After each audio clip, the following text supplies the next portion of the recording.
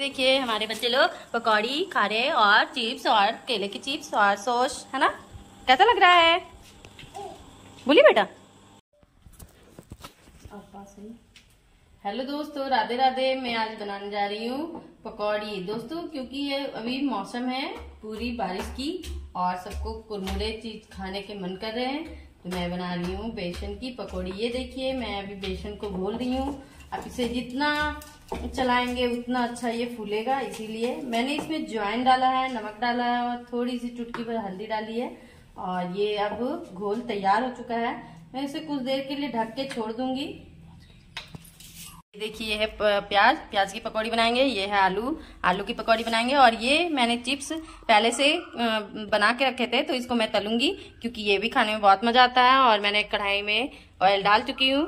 और ये आज लग रहा है और मेरे तेल अब गर्म हो चुके हैं, मैं इसमें डालने वाली ये देखिए, इन लोग सबके साथ हम पार्टी करने वाले हैं अभी, पकौड़ी और चिप्स की पार्टी मौसम बहुत है, मौसम बहुत सुहाना, ये देखिए, मेरे घर तरफ़ की हरियाली बहुत मस्त है, और इसीलिए हम लोगों ने ठाना है कि पकौड़ी खाएँगे। हेलो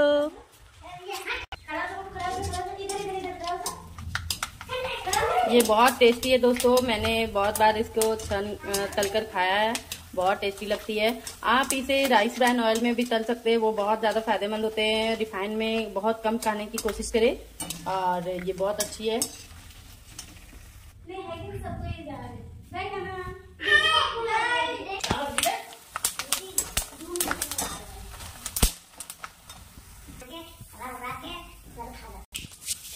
ये देखिए दोस्तों, मैंने थोड़ी सब्ज़ी मसाले बनाई डाली हूँ और इसको मिक्स कर रही हूँ।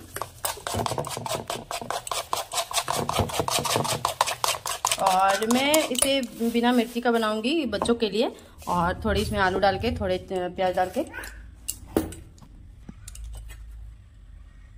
ये है आलू वाले और मैं आलू वाले बनाने जा रही हूँ। ये देखिए, आलू इसमें डले और मैं इसे बना रही हूँ। ये हो गया आलू के। मेरे यहाँ ऐसे ही बनते हैं पकौड़ियाँ। और आज मैं कुछ अलग भी बनाने वाली हूँ, जो आप लोग को मैं दिखाऊँगी कुछ देर में। ये देखिए।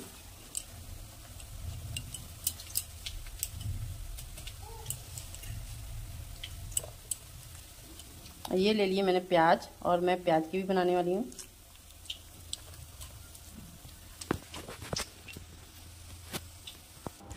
मैंने इतनी पकौड़ियाँ बना ली, अब मैं बना रही हूँ कुछ अलग। ये आप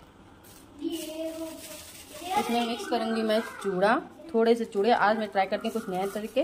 शायद इससे अलग कुरकुरे बनेंगे। ये देखिए, मैंने थोड़े थोड़े मिक्स कर दिए और मैं इसे पकौड़ी जैसा ही बनाने वाली हूँ।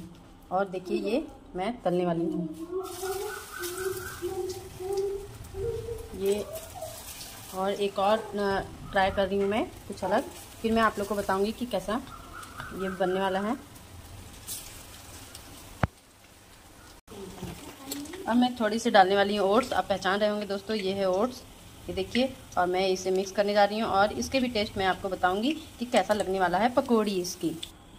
और ये मैं बनाने जा रही हूँ ओट्स वाली पकौड़ी। हाँ दोस्तों, ये है ओट्स वाली पकौड़ी, आप सब देख सकते हैं। ये ओट्स डाल के मैं बना रही हूँ। ओट्स वाली पकौड़ी, अब देखती हूँ कैसा बनने वाला। फिर आप लोग को खा के बताऊँगी कि ये टेस्ट कैसा होता है। फिर आप सबको भी सजेस्ट करूँगी। ये देखिए दोस्तों, ये चूड़ा वाला है।